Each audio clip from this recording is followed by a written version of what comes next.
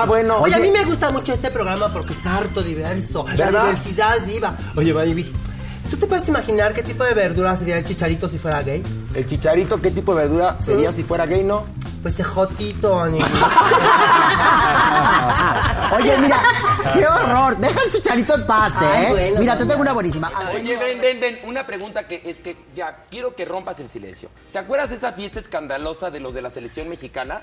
¿Estuviste ahí, Maniguis? ¿Estuviste ahí, sí o no? Ya. No, man, man- no, Manigui. Sí no. estuviste ahí. No, Manigui, había una que era mujer. Bueno, era un hombre encerrado en el... ah, Una mujer encerrada en el cuerpo de un hombre, no sé. Pero no di- eras tú. Nos decían que 26 centímetros. No, Manigui. Pero tú estuviste en esa fiesta, te vieron salir buscando al chicharito, gritabas. No te hagas. Chicharito, ¿sabes dónde estaba? ¿Dónde estaba? Encerrado en el closet.